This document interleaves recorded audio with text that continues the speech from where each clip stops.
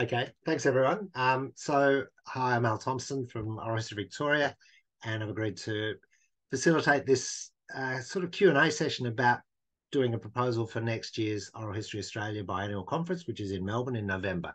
Um, so I'm going to do about a five to ten minutes presentation with some slides to show people a number of things, and then we'll have a chance for Q and A at the end. And as Alice said, this is being recorded, although not the Q and A at the end uh, so that hopefully people will be able to see it after today. So the basic details you can see there. Um, and it's in Melbourne. It's face to face, so not an online conference uh, as it was in Tasmania. I think we all feel like this is an event only to every two years. It's really good to meet face to face. The keynotes will probably be recorded, but apart from that, it'll be entirely face to face. Uh, it's over four days, with the first day being a number of training workshops and then a welcome event Friday and Saturday for the conference. And on Sunday, there'll be guided tours. Um, so that's that's the basics. Now, if you want to put in a proposal, and we really encourage people to do so, we use the same system that we used for the last well last several conferences, which is the EasyChair system. And basically, uh, you can see on the right there, the quick link section on the conference page. All you do is you go to that, you click on submissions, EasyChair portal, and then you'll get a, a login uh, that looks like the thing at the bottom there.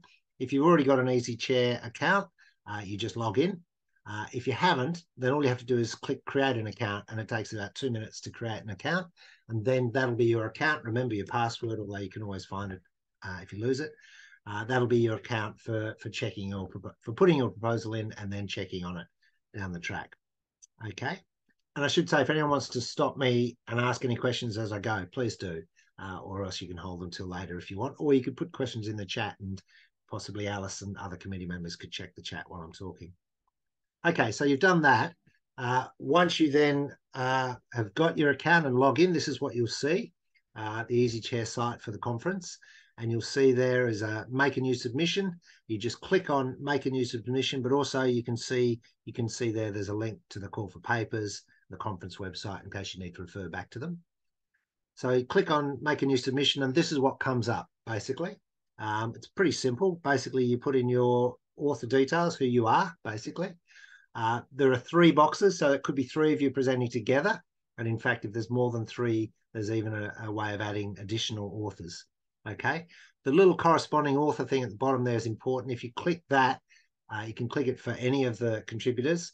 Uh, that's the person who'll then get correspondence automatically through the system. So do make sure that's clicked. And then the next on you just scroll down and the next thing you have to do is your title and your abstract. And I'll come back and talk about those in a moment.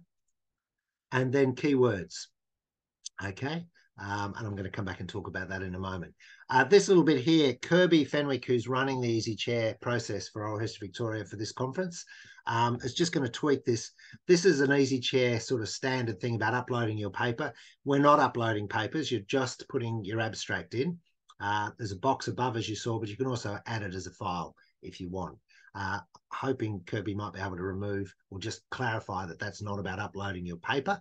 Uh, at no stage will we will we be asking you to submit your paper to the conference. Um, uh, I'll come back and talk about where you might want to submit it later.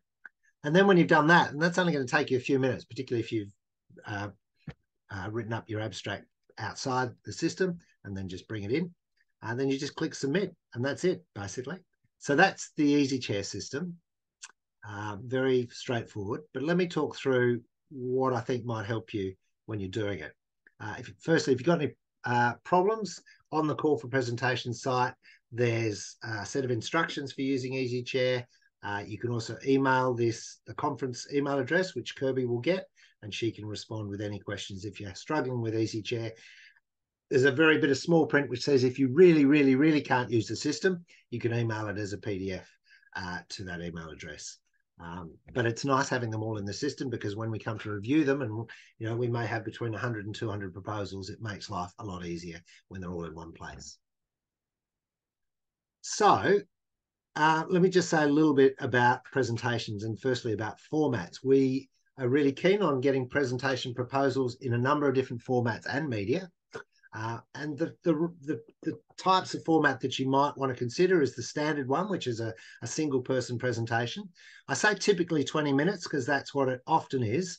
If we have a lot of really good proposals and we have to squeeze them into two days, uh, then we might say to people, you've got 15 minutes just to include as many people as possible. So that's why we haven't actually said exactly how long that'll be if you just want to talk about work in progress and not give a, if you like, a, a, a paper, then we've got what, what are called lightning accounts, which are going to be sessions with short five minute presentations where you can just describe work in progress.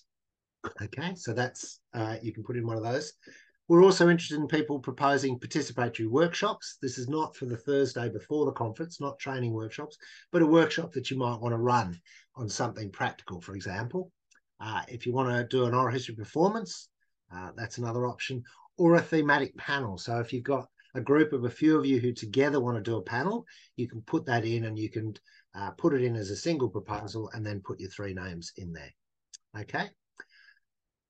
Whereas you can contact Kirby through the conference email address for any questions about EasyChair and submit, submission, I'm, um, as I was last time, I'm chairing the conference program committee, which is going to include reps from both Oral History Victoria and each of the other state and territory associations. And that's the committee that will review the proposals next year. Um, so I'm very happy if you've got any questions and people have already begun to email me, just email me uh, and I'm happy to talk with you about the format or the focus of your presentation if you want to talk about it before you submit it. Keywords um, basically it asks you to put in a few keywords. Now, one suggestion I've got is have a look at the conference sub themes, which are on the website and listed there.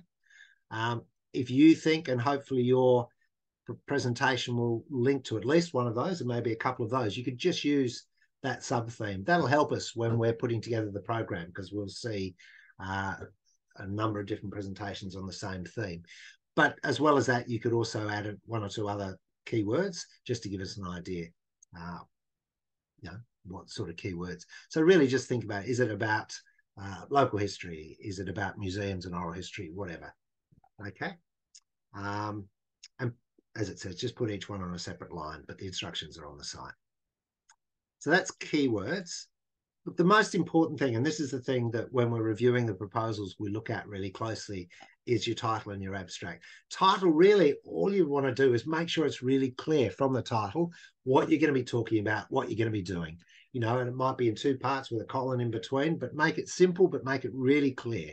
Uh, what it is you're going to be talking about and what you're going to get out of if you come along to this session. Because bear in mind, the title is going to be what's on the program. Uh, so people are going to be making decisions. Yes, they may go through the book of abstracts online, but probably a lot of people decide what session to go to when they look at the titles. Uh, so think of a title that's really going to say what you're going to do, but also will encourage people to come along.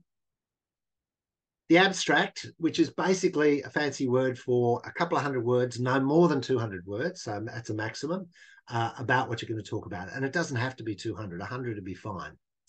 You should, within that, those words, uh, make it clear what presentation format you want to do. Is it the 20 minute presentation, five minute lightning, a workshop, a performance, or a thematic panel? So make that very clear in the abstract.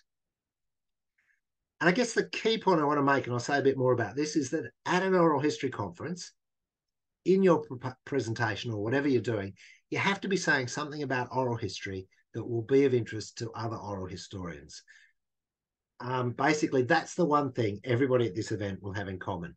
So there's not a lot of point in you talking in great detail about the local history of your little area if you don't say anything about oral history, because really that's not what people are coming for. Let me say a little bit more about that. And in a way, what I'm going to do here, these are the selection criteria that we used for the last conference and indeed for the one before. Uh, we haven't reviewed them for this conference, but they'll be pretty similar to this, I imagine give you a sense what we're looking for when we review the proposals. The first thing is one proposal per person. So don't put in five proposals hoping to get lucky uh, because we're going to be oversubscribed. So we can't do more than that. The only possibility is you might do a solo presentation, but also be a member of a group presentation. Um, again, if we're completely overwhelmed by presentations, we may strictly limit to one proposal per person. But at the moment, if you want to put in a solo one and then be part of a group, that's okay. We want to make it clear that we're in, interested in all the different varieties and approaches to oral history, all equally acceptable community projects, professional, academic research, media work, performance work, libraries and archives, and so on and so forth. Okay. Um, so all those different things. Your proposal has to have a clear and substantial relevance to oral history. So make it clear that you're going to be talking about oral history in the proposal. So if, for example, your proposal entirely talks about written life stories, it may well get rejected or maybe marked as borderline for review. Uh, it's a conference of oral historians. So, you know, maybe you are talking about some reminiscence work you've done involving life writing, uh, but based on people's telling their stories, and it's got you know a lot of overlaps and and value to oral historians. We'll make that clear if that's the case. But if it doesn't look like there's anything about oral history in your proposal, they're the ones that we tend to, especially when we're you know we've got a lot of proposals. They're the ones that we don't tend to accept.